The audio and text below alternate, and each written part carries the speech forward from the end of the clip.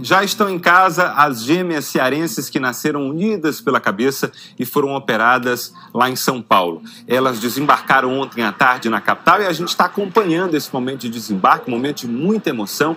A Maria Isabelle com Y, nome bonito, hein? E Maria Isadora, de dois anos, também com Y, tá? Isadora com Y, chegaram junto aí com os pais e foram recepcionadas no aeroporto da capital por parentes e também pelo médico que vem acompanhando esse caso desde o comecinho. Para a gente lembrar, a cirurgia que separou em definitivo as gêmeas foi realizada há cinco meses em São Paulo. Aí no dia 7 de dezembro, elas tiveram alta do hospital. Os pais estavam na maior expectativa, inclusive de passar o Natal em casa. Nós chegamos a escutar a mãe na época, mas esse retorno ao Ceará teve que ser adiado, infelizmente, porque as meninas apresentaram um problema na cicatrização logo depois da cirurgia. Agora, como a gente pode observar, saudáveis, elas vão seguir o tratamento por aqui mesmo, no Ceará, com sessões de fisioterapia. Vamos ouvir então o que disse os pais da menina, das meninas, né, logo depois do desembarque. Ah, elas estão evoluindo muito bem. A gente conseguiu essa vitória, né? E a gente acabou que vindo com elas agora. É, a gente vai, vai ver a família, né? Vamos passear um pouco com elas e ir à praia com elas, né? É, tem um pequeno procedimento de troca de curativo e reabilitação, né? Então, vai ser um longo período, né, de reabilitação. Mas que, se Deus quiser, vai, vai dar tudo certo. A sensação é muito boa mesmo. É aquela sensação de dever cumprido, né? Sonho realizado.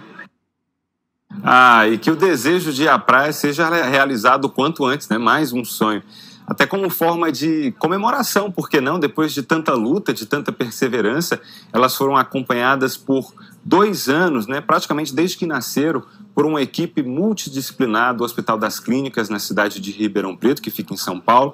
A cirurgia feita nas meninas foi considerada uma das mais complexas da medicina. A gente vem acompanhando tudo desde o começo.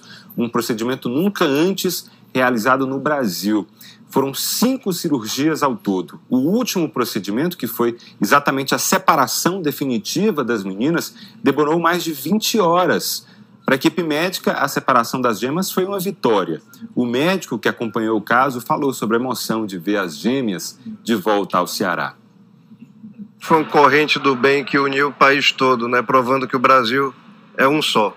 Nasceram aqui, nos deparamos com um caso único na história do Brasil, muito desafiador, e achamos por bem levar para o serviço de neurocirurgia pediátrica mais performante do país, lá na USP de Ribeirão Preto, com as maiores condições técnicas de agrupamento de pessoas, de equipe multidisciplinar para resolver o problema.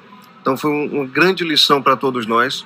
É uma família que volta para casa depois de um grande exemplo de superação, depois de uma vitória alcançada, e uma família que não é a mesma e nós também que participamos, que vivemos cada cirurgia, que estávamos lá dentro, que vivemos o momento da separação, nós também não somos os mesmos. Aprendemos muito em termos de planejamento, de trabalho em equipe, de superação humana, de união. Então, realmente, uma lição muito bonita que fica para todas as pessoas. É um aprendizado para toda a sociedade. Bom, do aeroporto, a família seguiu para casa, que fica no município de Aquiraz, na região metropolitana da capital.